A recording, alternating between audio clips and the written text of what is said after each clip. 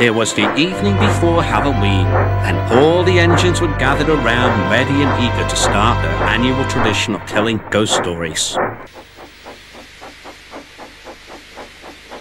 The firelighter came to set the mood, and soon the yard was showered in a warm orange glow, creating an atmosphere ripe for spooky tales. The engines took turns telling ghost stories as the moon rose overhead, each trying to outdo the last. They were all enjoying themselves enormously. Even the big engines, who normally didn't have much patience for silly stories, beamed and laughed as Thomas and Percy imitated a ghost haunting an old mansion. Finally, it was Henry's turn to tell a story. He hesitated for a moment and curiously looked over to Gordon and Edward, who appeared cautious at first, but then beckoned Henry on. Tell it, whispered Gordon.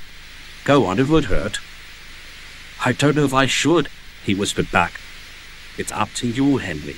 It is scary, Edward replied quietly. Are you going to tell the story or not? James said. The other engines laughed except for Henry, who looked a little uneasy. Come on, Thomas and Percy said together. Well, all right, here goes. And so Henry began. Many years ago, there was an engine who worked on a faraway railway. He was never given a name, or should I say, never lived long enough to be given a name. Henry paused impressively.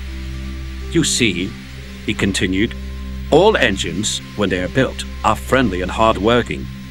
But once in a while, engines come out bad. I'm sorry to say that this engine came out very bad indeed. No one knows how he came to be built. What led him to do the things he did. The path of destruction that haunts his controller to this very day. Thomas and Percy looked wide-eyed at each other. The engine bought himself to be a premier engine from a famous lineage, but it was actually an experimental engine, using only parts of other steam engines. The parts didn't fit together very well, and made him very mean-spirited and somewhat unhinged. He was painted blue, but probably should have been painted black. It was not uncommon for the engine to insult the others and resort to light sabotage, such as bumping them without warning and displacing trains over small petty squabbles. He was also eased to anger and had fits of rage, taking it out on the trucks and sometimes engines smaller than he was. One day, he bumped up to one of these smaller engines and pushed him to the edge of the turntable well, threatening to knock him in if he didn't cater to his every whim. Edward suddenly gulped, as if a bad memory had flashed across his mind. The big engines were furious and confronted him about his awful behavior. Stop bullying engines smaller than you, they said. But he wouldn't listen. He continued to play spiteful tricks, and ever told the controller about it. He'd make them pay. The two big engines, thoroughly fed up, got up very early one morning and met the controller at the station. They told him all about what the engine had done, but the controller's hands were tied since the engine was unknown. I can't do anything but put in a report to the engine's company, said Henry, mimicking the fictional controller.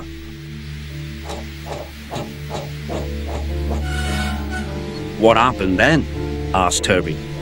Well, one of the big engines left to take a train, and the other remained at the station trying desperately to plead their case.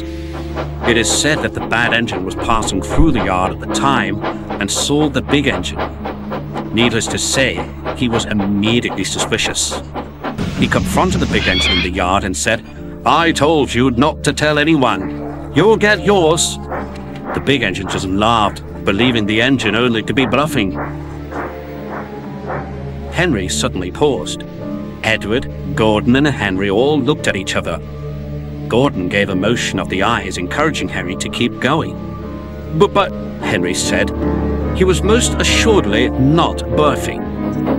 The next day, the big engine was pulling an express train, and through the junction when suddenly, and without warning, another engine careened into the back of his coaches. There was an awful noise as wood and metal and stone splintered everywhere. What was worse was as the noise of the wreck subsided, the screams of the passengers inside those coaches became louder and louder and louder.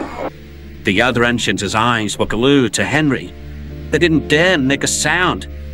The bad engine, knowing the big engine was just up the line, had intentionally missed a signal and ploughed into the back of the express train to get even. The sight of it was awful. The three rear coaches were smashed to smithereens, and everyone inside those coaches. Henry gulped. Everyone inside those three coaches perished. The other engines gasped. The big engine screamed, You've killed my passengers! You've killed my passengers! But the bad engine didn't care, he just laughed. The controller came and seeing the mess sent the engine for scrap. If the controller had only listened to the big engines, the lives of those in the coaches might have been saved. So that is the moral of this story. Stand up to evil and fight on to the very end, or the evil might just turn you into ghosts. Henry blew a loud whistle making everyone jump.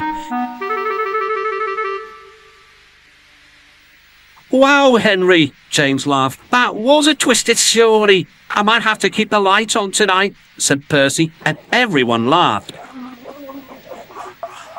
Soon the engines began to leave the yard to get a good night's rest. Gordon, Henry, and Edward, however, stayed behind. As soon as the others were out of earshot, Henry sighed, looking very ill. Gordon smiled sympathetically. A fine performance, Henry. Though I know that's not an easy story for you to tell. Do you think they knew who we were talking about? said Edward. The only one who might have known was Thomas, but he was too young at that time to remember, added Gordon. Think 98462 was actually scrapped? asked Henry. But Gordon and Edward didn't answer right away. The three looked up at the moon, feeling uncertain but hopeful that the bad engine wouldn't come back to haunt them again.